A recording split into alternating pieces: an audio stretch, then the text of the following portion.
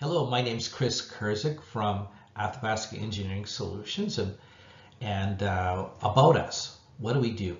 Well, we provide equipment re-rating and, and, fitness for service uh, services. We look at reliability and safety studies, and we do third-party compliance audits to make sure that uh, uh, your the engineering group is following the uh, local authorities.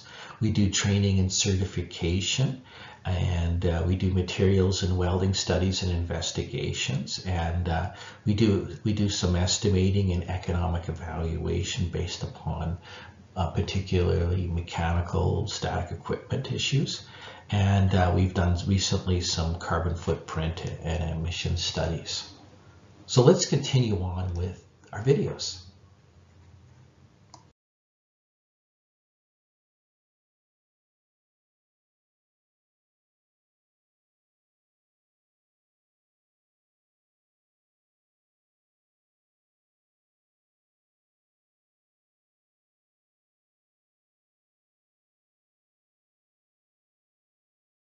Now, if we continue on, there's some things on soldered and brazed joints. Basically, they say brazed, brazed and brazed welded joints. They they don't want to see that in in um, you know severe cyclic loading conditions.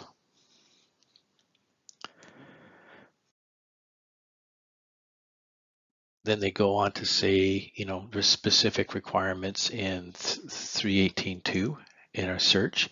They say 318.2.2 joint interlocks. They say either mechanical or welded interlock uh, to prevent separation of any joint is not permitted.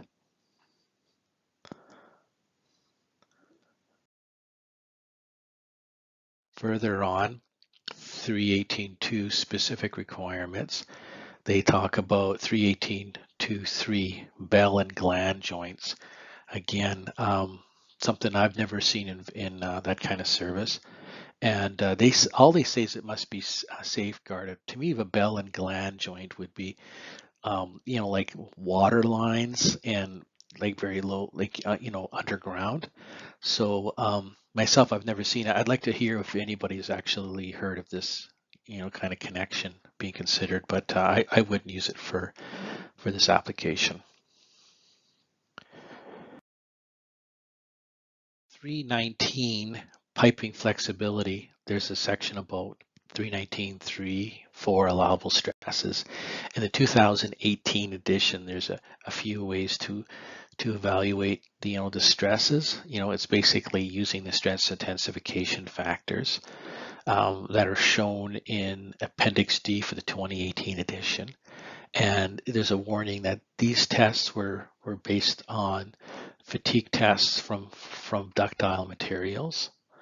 And that you know if you're you know very cold and you're in the in the um, below your minimum design metal temperature then these intensification factors you really can't use. Okay? Then they, they're giving you uh, another route is uh, ASME B31J and then they say you know they go on to say in there, piping components or attachments not found in Appendix D, which is table uh, D300, you can, you know, use other components, but they have to be of similar geometry shown in in uh, D300. So they give a, a, little bit of flexibility, but I want to note, and we'll talk more about Appendix D in, in the up further up in, in our presentations.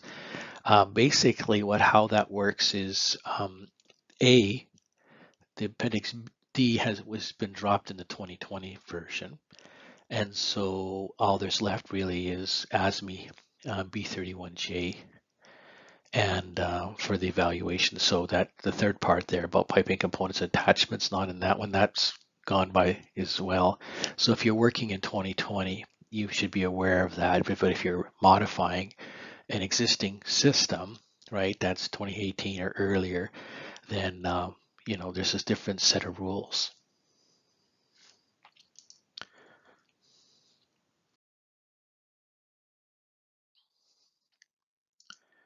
So piping supports 321, structural attachments 321.3. they say design attachments to minimize stress concentrations.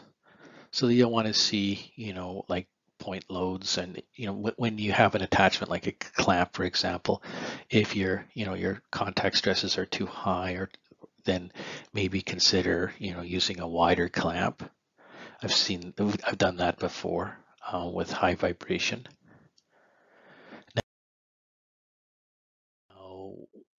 tip, uh, chapter 3 is about materials so we have 323.4 fluid service requirements for materials and 320, 323.4.2b, there's specific requirements. So following the materials is uh, is not permitted for severe cyclic loading conditions. So they, they don't want you to use gray iron.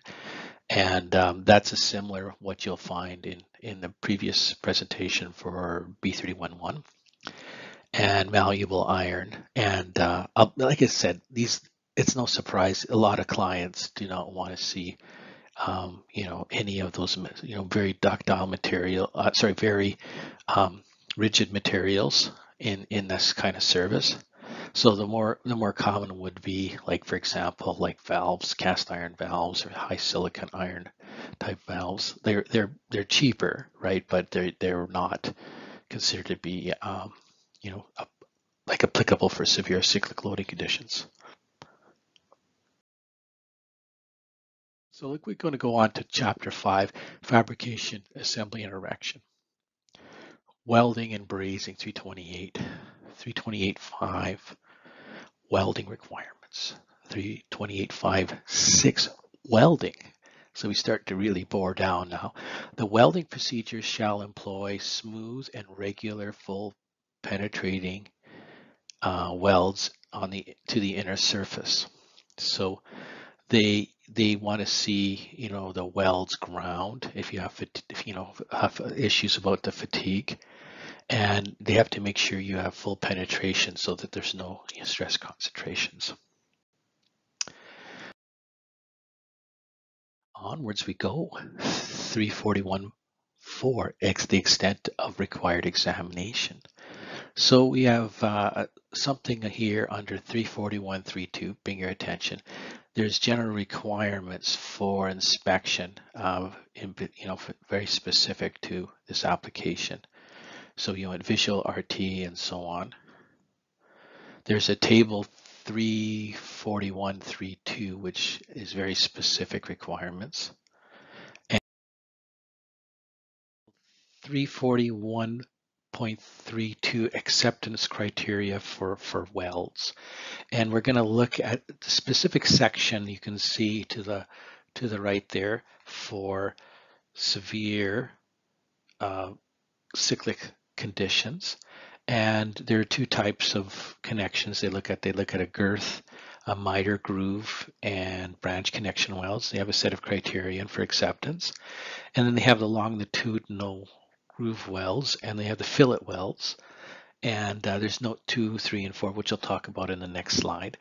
But they correspond to these types of imperfections. So for cracking, you know, they're looking at uh, examination methods and um, shown, you know, visual or radiography are typically used. So, so the check mark that you see over here refers to uh, indicates the examination method is generally used for evaluating this kind of imperfection. So for cracks, you can use visual or radiography for that type of service.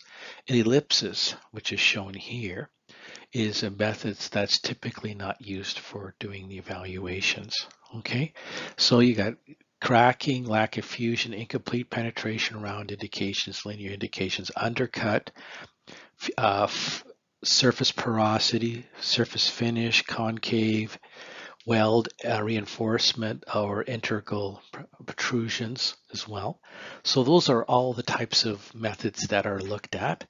And um, so let's continue to the next slide. We'll talk more about what these notes mean and what A means, okay?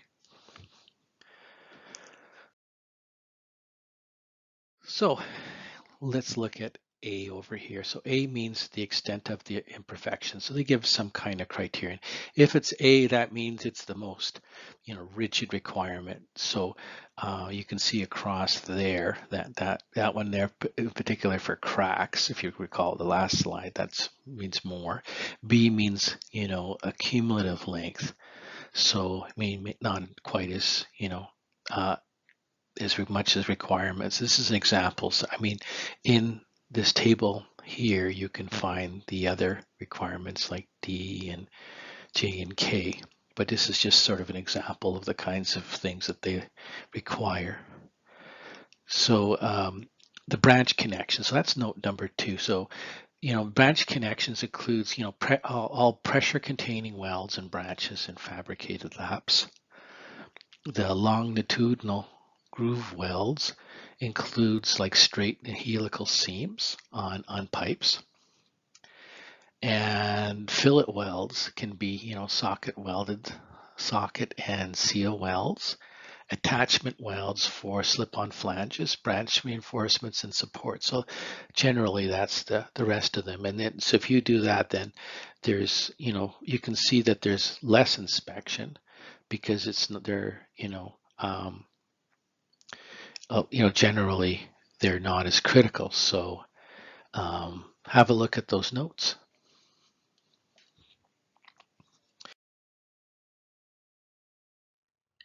I hope that you found this presentation useful and valuable to you. This was provided by Athabasca Engineering Solutions. We'd love to hear your feedback and, and your thoughts on further videos and we'd love to hear from you. Maybe we can do some business. Please subscribe to our channel so you don't miss a thing. Take care for now.